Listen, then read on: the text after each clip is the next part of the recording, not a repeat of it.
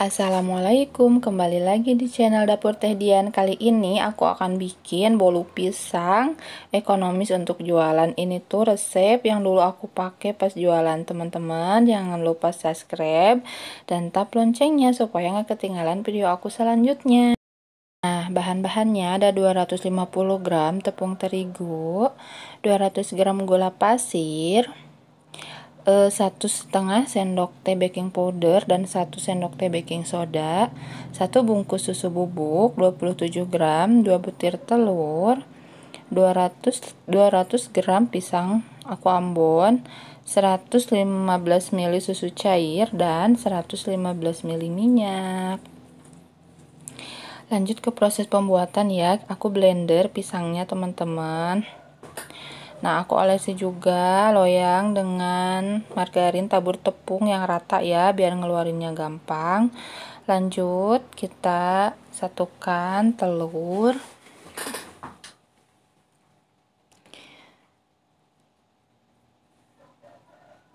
Gula pasir. Kemudian kita mixer ya teman-teman di mixer langsung pakai kecepatan tinggi ya sampai mengembang. Nah terus aja di mixer. Jadi sebenarnya resep ini tuh bisa kalau tanpa mixer. Jadi teman-teman kalau nggak punya mixer dikocok pakai Wix aja ya manual. Tapi aku lebih suka pakai mixer gini karena menurut aku yang nggak pakai mixer sama yang di mixer lebih enak yang di mixer jadi hasil akhirnya tuh si bolunya itu kalau di mixer gini lebih lembut. Nah sedangkan eh, kalau nggak di mixer itu lebih apa ya lembut sih. Cuman nggak selembut yang di mixer. Nah sampai putih kayak gini. Tapi nggak nggak sampai kental-kental banget ya. Karena di sini kan nggak pakai SP jadi nggak akan sampai kental kayak pakai SP nih sampai berubah putih warnanya.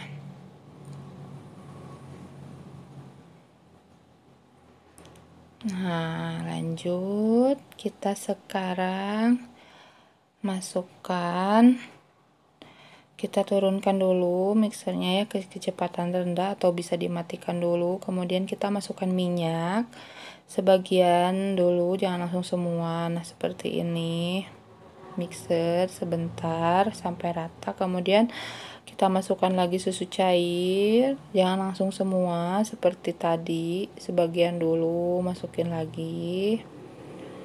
Nah dilanjut. Sekarang kita masukin pisang yang udah aku blender. Aku lebih suka pisangnya di blender sih ya teman-teman. Kalau mau dihalusin aja nggak apa-apa pakai garpu gitu dilumatin kalau dihalusin aku biasanya pakai blender aja dari dulu juga. Nah kita mixer lagi. Lanjut terakhir kita masukin tepung. Ini tepung terigu sama susu bubuk udah aku satuin ya. Tepung terigunya aku pakai merek segitiga biru. Boleh pakai merek apa aja ya teman-teman. Yang penting protein sedang atau protein rendah. Kita mixer deh sampai rata ya nah masukin terigu juga jangan langsung semua bertahap. Nah mixer pakai kecepatan rendah aja kecepatan nomor satu udah cukup. Mixer sampai rata ya teman-teman. Nah hasil akhir adonannya seperti ini. Kita matikan mixer. Di sini aku bantu aduk balik menggunakan spatula nah supaya benar-benar rata ya. Tuh tekstur adonannya agak kental tapi nggak kental-kental banget. Hmm. lanjut sekarang kita tuang deh ke loyang. Aku pakai loyang ukuran 22 22 cm ya gitu. Pokoknya oles olesin loyangnya yang rata aja sama tabur tepungnya itu insya Allah gampang banget dikeluarinnya. Tuang ke loyang ini ini memang kayaknya sedikit ya jadinya itu si loyangnya itu cuman keisi setengah memang resep ini tuh. Tapi kalau udah dipanggang itu dia ngembang banget sampai loyangnya tuh penuh oke. Toppingnya bebas kita hentakan dulu ya teman-teman supaya udara yang terperangkap di dalam itu keluar tuh. Kemudian kita taburi keju parut atau bebas ya sesuai selera. Biasanya aku toppingnya keju parut eh, kemudian choco chip sama irisan pisang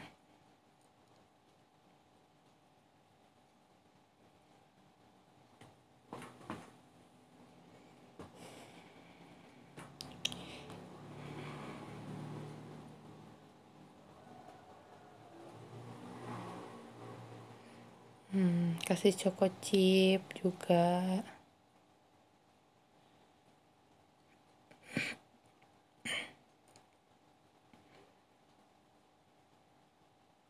Hmm, kasih juga irisan pisang. Tuh seperti ini ya teman-teman. Biar nanti hasil kuenya kuenya itu cantik dan jangan lupa oven udah dipanasin sebelumnya ya teman-teman. Jadi pas kita uh, masukin kue ke dalam oven itu ovennya udah panas. Pokoknya udah panas ya.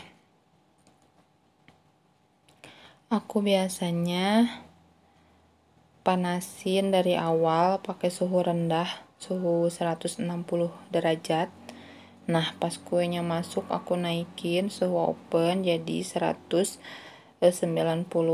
atau 180 derajat. Tuh, siap di oven. Kita masukkan ke oven yang udah panas.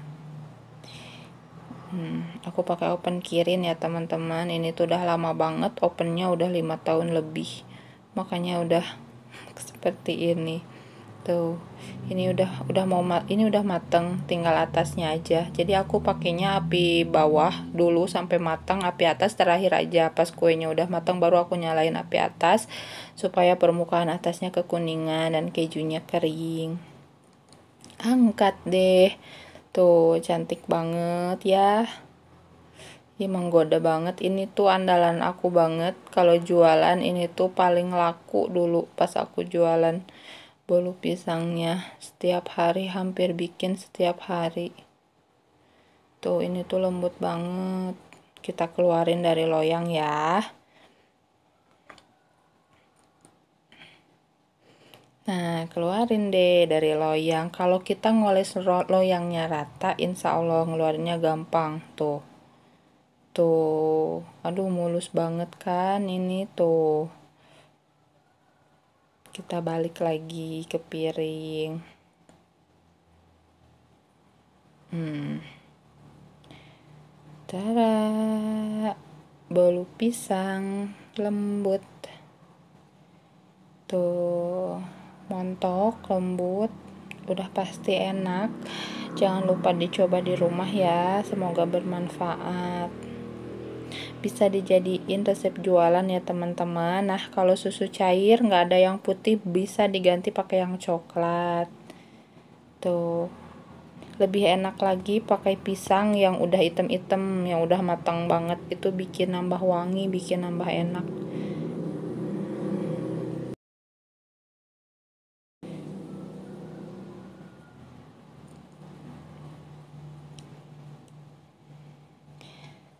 teman-teman. Kita potong ya biar kelihatan tekstur dalamnya. Tuh lembut banget. Kita potong. Hmm. tuh ini tuh ekonomis lembut enak banget. Nah resep ini bisa dikukus juga ya jadi yang nggak punya open dicobain dikukus.